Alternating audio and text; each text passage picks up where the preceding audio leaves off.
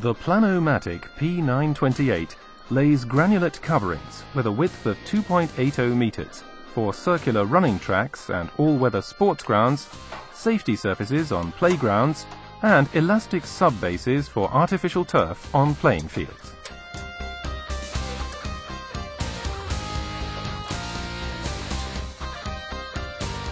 Using electrohydraulics, the Planomatic lowers itself from the transport wheels into its working position on the drive tracks.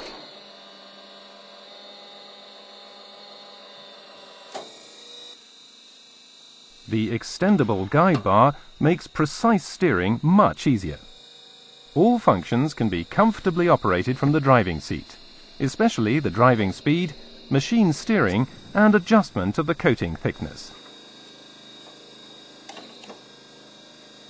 When a very even coating is required, a sensor and scanning device can be used.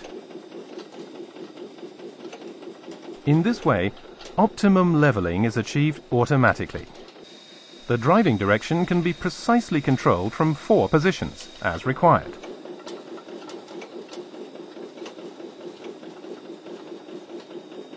The driving seat can be attached to either side of the machine. For coating the edges of fields, the seat can also be fitted at the back of the Planomatic. The curve radius can be automatically pre-selected. The Planomatic can of course also be driven using a generator. Thanks to the mounting device, the generator can be securely fixed to the machine.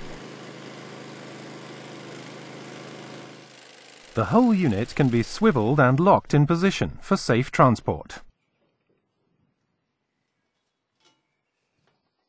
The Planomatic can also be set manually on its transport wheels and moved to the next worksite.